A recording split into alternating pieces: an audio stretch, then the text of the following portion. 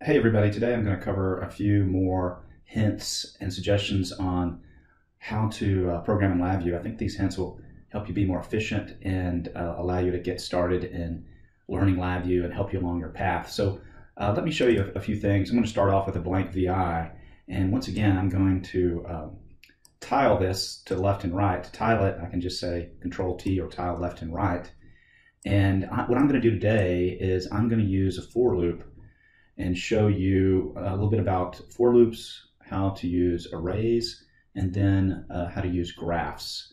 And so in my application today, let's start with a for loop. So I right clicked in the diagram. In this case, I'm going to drop down a for loop. And uh, for loop is a window, and anything inside of that window will execute on each iteration of the loop. And then I can program the number of times that I want the loop to run by right clicking on n and saying create constant, and I'm just going to type in 100.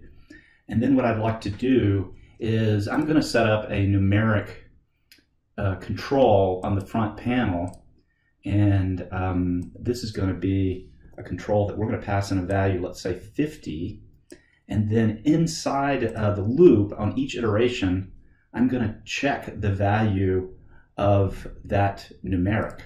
So let's do this. I'll go ahead and put a case structure. And a case structure is very similar to an if statement in Python. And what we want to test on is if this numeric value is uh, greater or less than 50. Now, the question is, do we put it inside the loop or outside the loop? If we put it outside the loop, it'll pass in this value as a constant, like you set it outside of a loop in, in uh, Python, and, but if we put it inside the loop on each, each iteration of the loop, it will look at the constant value to see if, if uh, the comparison uh, is greater than that value. So let's start by putting it outside of the loop to show you how to do this.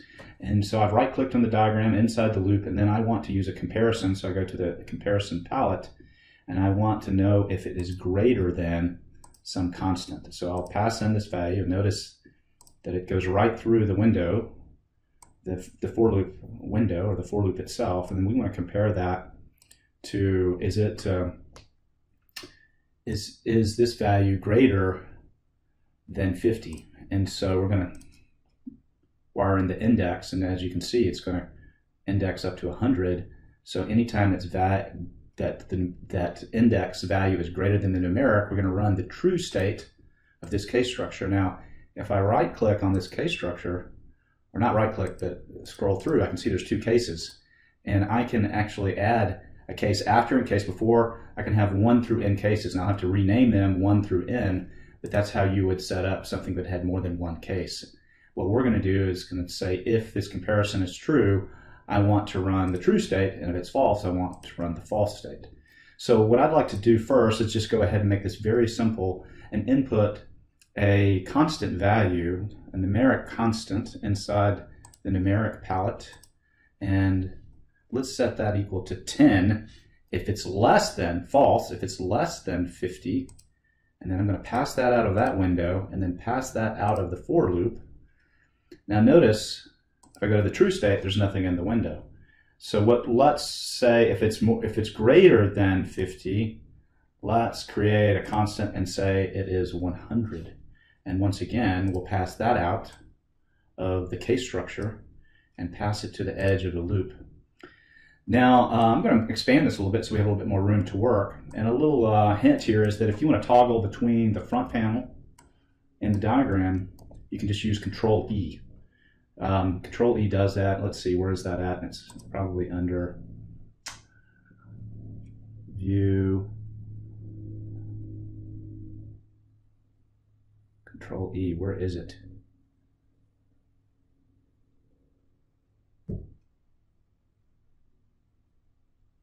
There it is, show front panel. It's under window. So uh, the thing I want to point out here is, is that when you take a single value to the edge of the loop, there are some options here you, under tunneling mode. So I right clicked, right clicked on that tunnel is what it's called. And I can say, I want to to set the output to the last value or I want it to index. And if you index, it will create an array indexed starting with uh, zero all the way up to the last value, the last index. and that array could then be processed. Concatenating is if you have created an array and you want to concatenate an array. So if you have a 10 element array and you pass that to the edge and you on each iteration you wanted to concatenate that array, those 10 elements and add another 10 elements, that's what concatenating is. We're going to use indexing to create an array. And the first thing I'm going to do here is I'm going to go ahead and show you what that looks like as a, an indicator on the front panel. And this is what an array looks like on the front panel. So um, let's go ahead and come back to the front panel and then I can show you that. And then uh, if I want to see the array, I could uh, size it and then say, give me element four, starting with element four, but we haven't run this yet. So let's leave this at element zero and uh, go ahead and run this one time. And so this is going to, loop is going to run 100 times and then it's going to stop and then it's going to pass out an array of size 100. And then some of the values are going to be 10, the first 50, and then the last 50 are going to be 100. So let's run that.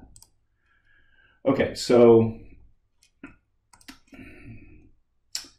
is okay. Well, I've got these. Uh, I wanted to test this condition, so this is important. I wanted to contest wanted to test if i is greater than the numeric, so I need to have this order. And to get help in LabVIEW, you just do Control H. You can see a window. I'm comparing as x greater than y, so it's good for you you to see me how I'm troubleshooting this. So I'm to, if i is greater than that, I wanted to run the true case. And if it's false, I wanted to run this case. So I actually ran that properly, but it was good to show some troubleshooting there. So if I run that, now I've got all of my values up to 50. And so, by the way, it indexes at zero. So the index zero is here. So if I put index 49 here and return that, we can see that 49 is 10, 50 is 10, and then 51, index 51, starts at 100. And so when index becomes above the numeric value, which is this value here, it then turns on the true state and is 100. So that is how the array works. Now, if we go to index 99, we can see that that is the last index at 100. Okay, and it starts at zero. So it's zero, uh, it's zero indexed all the way up to 99. But then when you program in, you put in, uh, I want to, I want it to run 100 times. So that's a little bit of a, a thing to be aware of. Okay, so another thing that we could do here, so that shows you how to build really an if statement using a case structure, how to create an array, but let's say that we wanted to graph this array. How would we do that? We go back to our front panel, I can select, I want to show a waveform graph, and there's other options here I'm going to talk about in a little bit, but let's start with a waveform graph. So what would you expect if I passed this array here to the graph? Now notice this line is thicker than this line. This is a single element, and this is an array of, of elements. So that uh, is how you program a um, graph to show, and we, we, can see that it goes starts out at 10, and then it goes up to 100. And once again, let's just show show how this graph works. I can uh, click on on the uh, axis and just change the axis, axis interactively. Size that, and then if I wanted to actually show two plots, I could do that. So let's show how we would do two plots. So let's go ahead and take this value, and so we're going to plot out the, the 0 and 100, and if we wanted to plot, let's say, the index itself, I could drag the index to the edge, and what it's going to do is create an array. It's going to create an array from, from 0 to 99, right? And this time, let's go ahead and break this. So I click this. Oh, here's something to know. If you want to clean up your diagram and you have wires that are they're just sticking out like that, you can do Control B. Control bad wires is what that stands for. It removes all the wires. So that's kind of nice just to know that as a shortcut. So if I want to make a waveform graph, in this case, I want to to actually I want to take two channels of data. I want to show the zero, the 10 and the 100 step function, and then also want to show this going from 0 to 99. And to do that, I go to arrays, and then um, I select build array, and then I can size that array, and then this will be the first curve or plot that I want to put onto the graph, and this will be the second curve, and then I will plot that out on the graph. Now notice that the line now is even bigger, so I went from a 1D array to now a 2D array that I'm going to plot on the, on the front panel. And we can see the red line is the 10 to 100, and then this is the 0 to 99 value for the index. So that, that's kind of interesting. Now, that's a waveform graph. I've got multiple curves going on to the graph. What if I wanted to control the index of the graph? And that's, that's really an XY graph. So let's go to the graph, select XY. So I can, on this type of graph, I can control the index value. In this case, we'll call it time. And then what I want to do is I want to use a, a function um, that's in the arrays. Um, sorry, it's not. It is in the uh, clusters invariants. It's called a bundle. And then for this value, the top value is the x. And so this is expandable. So you can have multiple xy curves with multiple uh, y plots and, and one x.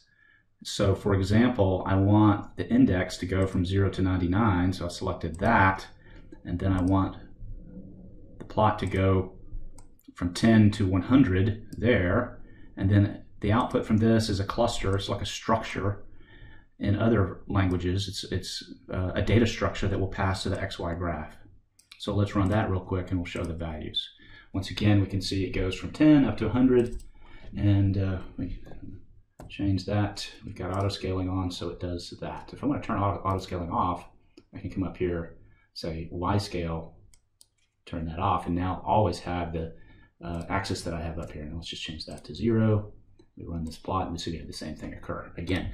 So that is how you would do an XY graph. Now, you may see me when I have a, a, broken wire like this, I just drag it up to the top and it eliminates it. So that's a quick way. So if you just kind of find yourself like, what do I do with this thing? And you're out here doing this, just drag it to the top, click, and then it removes it.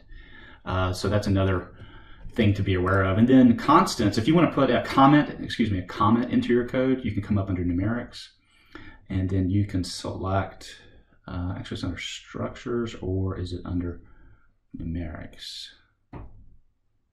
It is, what I'm looking for is actually, you can use strings oh, here's a way to get to it. You can get to you can go to Tools, uh, View Tool Palette, and you can tab between the different or select what you want. And this is basically a way to add a comment into the code itself. And so I can say this is a for loop, and then um, if I want to change and position something differently, I can do that. That's a case structure. And then the other kind of key hint here is if you want to make more space in your diagram, what you can do is do a control, drag, and then that I'm hitting the control button and I'm dragging and I can change the shape of my for loops interactively. So a few more hints for you there. Showing the tool palette, you can go between different objects here. If I want to be able to, to uh, change this, I can go to the comment tool, uh, and then there's other tools there for you to work with. This probe, function, I can put a probe right here and I can, or right here on each iteration of the loop, I can see what the I value is. And so this is a way to troubleshoot. This is covered in the National Instruments tutorials on how to use the probe, so I won't cover that as much. Um, so let's go ahead and run this one more time. You run it, and then let's do something else. Let's go one step further, and let's use some of the mathematical functions. So I can come down to mathematics, and if I want to do um, some probability and statistics. I want to find the mean and standard deviation. We've done a lot of that this class. So I'm going to select uh, standard deviation here, and I think it includes also the mean as an output. So if I go to the wiring tool, let's go ahead and take the output that is the array that has the zeros and 10. Let's take that. And then let's output and right click on the output here and say create indicator, it automatically creates an indicator, and then I can create another indicator for the standard deviation. And then what I'm going to do is I'm going to position these so we can see them a little bit better in the diagram. Okay, so if I go back to the front panel, let's close this and find my mean and standard deviation. They're over here. Let's move them here so that we can see them. You can see that they're controls because I can't uh, change the value. So this is a this is a this up here, as you can tell, it has something where I could change the values. So I could change this to 55, or I can click through the controllers here to be able to change that.